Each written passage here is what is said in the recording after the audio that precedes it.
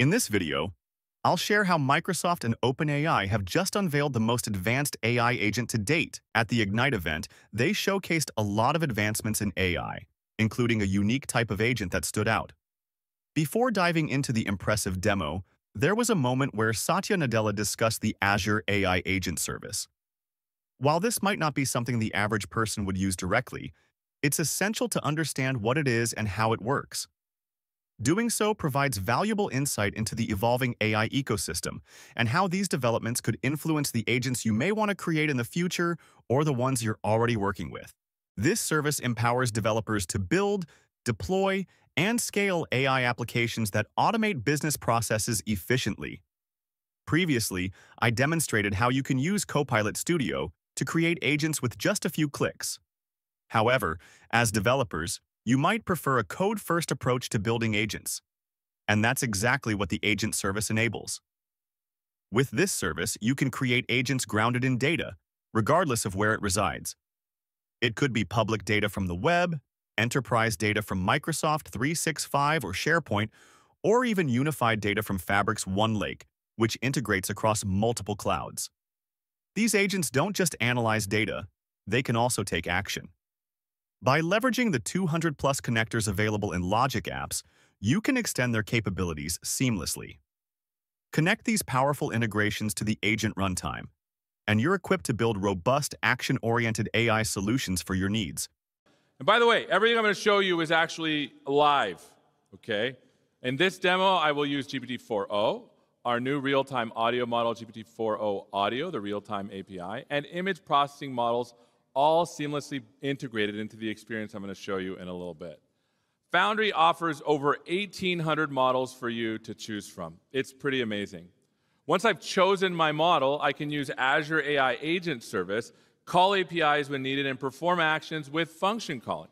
In this example, I have a main customer-facing agent that is then delegating tasks to other agents to understand what the customer wants, what their purchase history is, and to recommend products based on multimodal conversation with the customer. These agents can run micro-intelligent tasks to provide a cohesive, personalized experience. These agents can also be grounded to a variety of data sources, including Fabric. It's pretty awesome. Actively. Let me show you how all of these capabilities I just showed can create a hyper-personalized customer service experience that solves real-world problems in ways that we couldn't even have imagined a year ago. Okay, so I'm going camping, and my friend sent me this picture. And I want to make sure I have the right gear for a winter camping adventure, so I started a chat. Now, notice this is something that's now routine, AI interacting with me with chat and images. But I want to, chat's great, and, and we all love chat, but what, what if we can break out of the actual chat box and do a more personalized experience. Because it feels like, you know, AI today, um, it, it, feels like it's all just like inside of your chat box. It feels like there's a, there's a lot of co-pilots and stuff.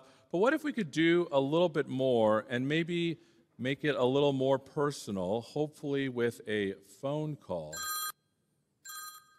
Hello, is somebody there? Hi, Seth. Yes, I'm here. I see you're getting ready for a winter camping trip. Can I send the concierge page to your browser to provide more details? You certainly can. Send me to the concierge page, please. Great. How cool is this? Sending you to the concierge page now. You'll find more detailed guidance there for your winter camping trip. So, this is awesome. What do you recommend for this camping trip?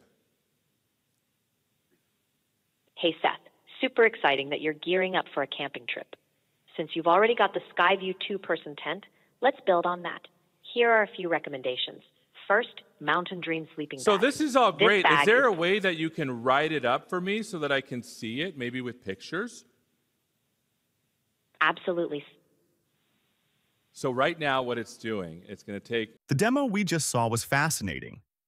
It gave us a glimpse into the future of AI agents and how they'll revolutionize our experiences, especially in customer service.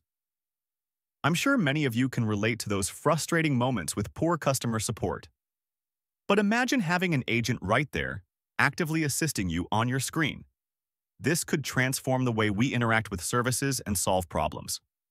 A few days ago, I made a video discussing OpenAI's ongoing research into agent technologies. One project in particular caught my attention. It's a general-purpose tool designed to execute tasks directly within a web browser. This project is reportedly nearing completion, and it's incredibly exciting because it represents a major leap in functionality. We've all heard the buzz about AI agents being the next big thing, and it seems like this breakthrough is just around the corner. For those wondering when these advanced AI agents will be available, OpenAI has announced plans to release this tool in January as a research preview. It will also be accessible through their API for developers. This means January will likely be packed with new AI agent demos as developers start exploring these tools. What's exciting is how developers can take foundational products and build on them in ways the original creators might never have imagined. It's through this creative expansion that we often see the most innovative applications. I'm particularly intrigued by OpenAI's recently announced project, Operator.